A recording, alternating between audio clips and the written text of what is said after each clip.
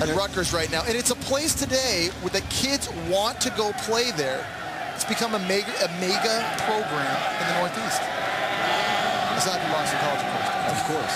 Third down and short. Hand off to Rice. Rice Look it on the outside. And now it's just a foot race. Rice powered as well. Wow. Should have been pushed out and then finally cut from behind, but not before he crosses the goal line for a touchdown. 90 yards on You- the run. You thought it was a foot race. The, the foot race didn't matter.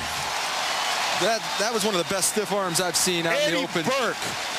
Eddie Burke had him not only on speed, but also on angle. Upper body. He went for the upper body. Go for the legs. Wrap those legs up and hope you can hang on. And I'm not 100% sure Rice actually got into the end zone. Well, they're, they're going to kick it. Make sure it's too late. Too late. All right, he's officially in the end zone, Bal. My, my, my. And as predicted by Doug Flutie, Ray Rice over 200 yards on the game. What a run. His third of the game. Allows Ray Rice a clear path through. Great job of execution up front.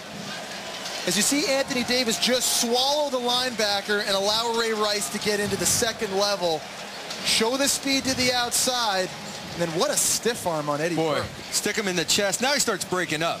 Now he's like, I just want to get that goal line. I want to get to that goal line. I still think his knee was down before he was in the end zone. Well, you give the man the touchdown. Oh, come on. Longest play from scrimmage for Rutgers this year. Look, the boy's mama called the boy Ray. I'm going to call the boy Ray. Exactly. Ray ran, boy. Let's go back and take another look at Ray Rice. Underwood gets a great block on the play as well. The receiver pushing B.J. Hill down inside and Rice bouncing outside. It's all three.